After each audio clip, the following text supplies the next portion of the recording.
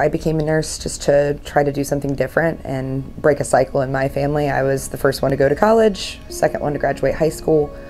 Um, I love the science and the art piece of nursing. Everything's so individualized and it really helps us to tailor the care. I got my bachelor's in nursing in 2010 and then I went to work at the local trauma center, did some ICU, step down care there, initially started off med surg um, became a wound and ostomy specialist, and that education piece of that's really heavy. And I fell in love with the education piece and the ability to kind of change a life on a simple teaching point.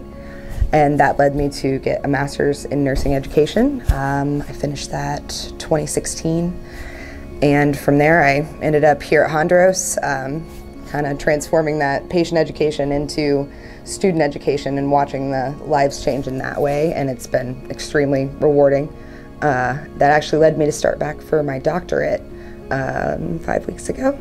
So that's another work in progress for a doctorate of education to kind of keep going and continue to be a lifelong learner. I think it's seeing them kind of, it's almost like you're watching yourself back, like them overcome those struggle moments and to have that click of, I get it now on concepts.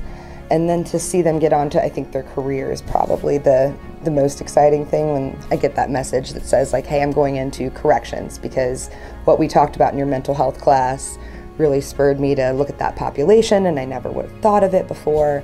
Um, I have one that went into the critical care fellowship for Ohio Health passed NCLEX and, and those types of messages that they're getting out there and kind of starting that rewarding path that I got to have.